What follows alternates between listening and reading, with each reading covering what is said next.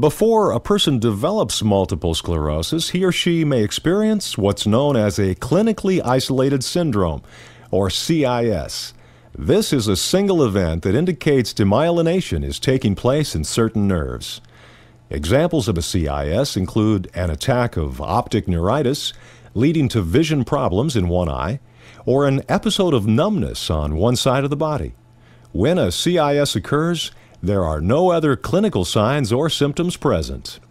Those who experience a clinically isolated syndrome may or may not go on to develop multiple sclerosis. When MS does develop, it can progress in a variety of ways. Multiple sclerosis progresses differently for each person, and there's no way to predict which course the disease will take. But MS generally follows one of three basic patterns relapsing remitting, primary progressive, and secondary progressive. Another form of the disease, known as benign MS, can also occur. Let's take a look at each of these patterns. In relapsing remitting MS, you have unpredictable attacks called exacerbations, where your symptoms suddenly get worse. These attacks take place over several days to weeks. After each attack, it can take weeks to months to recover all or even just part of your previous abilities.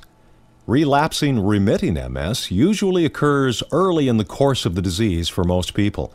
About 85% of people with MS have this form of the disease.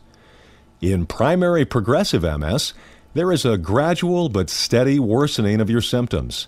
There are no obvious exacerbations or periods of remission. Only 10 to 15 percent of all people with MS have this form of the disease.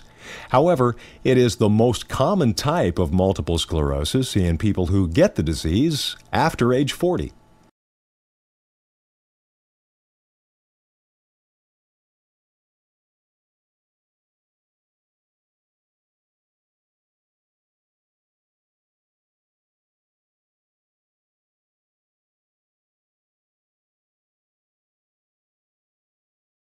In addition to the main patterns of MS, 20% of the people with multiple sclerosis have a benign form of the disease. In benign MS, a person's symptoms do not get any worse after the initial attack, or only get a little worse. People with benign MS remain fully functional.